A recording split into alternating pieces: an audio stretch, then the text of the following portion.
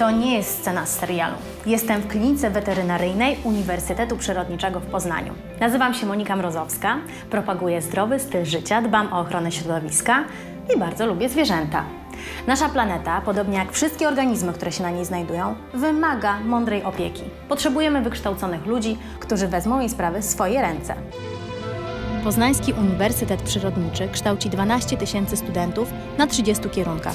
Uczelnia prowadzi studia anglojęzyczne. Dzięki programom Erasmus i Leonardo da Vinci przyszli specjaliści zbierają doświadczenia na całym świecie. Ostatnie analizy dotyczące jakie kierunki młodzież wybiera idąc na studia oraz to, co się ukazuje w sensie zapotrzebowania na y, studia inżynierskie wskazuje, że młodzież przy wyborze kierunku studiów już ma dobre przemyślenia. Już od tego roku jesteśmy obligatoryjnie poprzez ustawę zmuszeni do monitorowania rynku pracy i losu naszych, naszych absolwentów. Co robi uczelnia, żeby umiędzynarodowić te swoje studia? Jest to bardzo ważki problem, ponieważ przez takie umiędzynarodowienie studiów istniejemy w obiegu edukacyjnym Europy. Czy student może zarabiać na własnych pomysłach? Proponujemy dwa rozwiązania. Albo, znając specyfikę naukowców, proponujemy opracowanie technologii i pomagamy ją zlicencjonować. Ewentualnie wskazujemy, jak student może założyć własną działalność gospodarczą.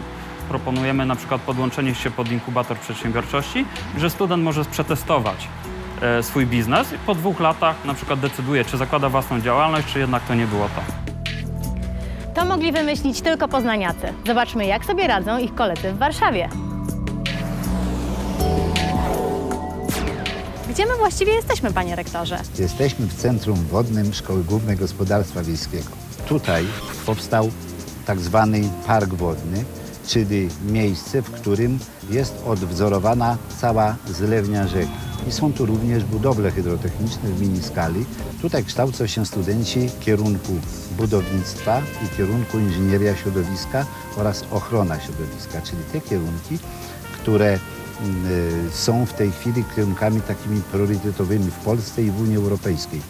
Kilkanaście lat temu uczelnia postanowiła profesjonalnie pomagać swoim absolwentom w poszukiwaniu pracy, tworząc biuro karier Agrokadra. Mamy taką specjalną bazę danych, y, w której y, informacje zamieszczają o sobie studenci, y, w której z drugiej strony pracodawcy mogą umieścić swoje ciekawe oferty. I za pomocą tego portalu nawiązuje się nić porozumienia, nić współpracy.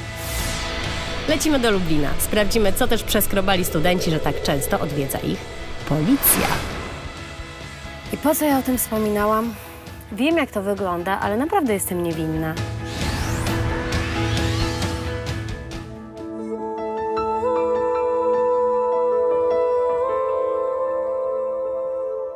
Rektor Uniwersytetu Przyrodniczego oraz komendant wojewódzki Policji w Lublinie podpisali porozumienie o współpracy, również obejmującą działalność dydaktyczną. Warto nadmienić, że biologia sądowa jest specjalnością interdyscyplinarną, obejmującą szeroki zakres kształcenia, a jednocześnie unikatową na polskim rynku edukacyjnym, co może stwarzać szersze możliwości zatrudnienia dla absolwentów naszej uczelni.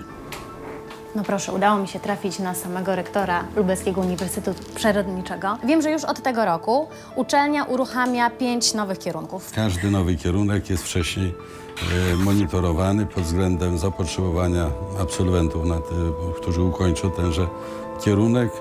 E, w strukturach naszej uczelni funkcjonuje e, jedno z pięciu najbardziej nowoczesnych w Europie laboratoriów E, pod nazwą Centralne Laboratorium Agroekologiczne, którego zadaniem jest obsługa nie tylko studentów, ale także e, szeroko rozumianych producentów rolnych. Jak widzicie, uczelnie przyrodnicze wypracowały nowoczesne modele zarządzania nauką i bacznie obserwują rynek pracy. Kształcą specjalistów, na których będzie ogromne zapotrzebowanie. Według tej myśli wybierajcie. Edukacja to inwestycja i musi się opłacać.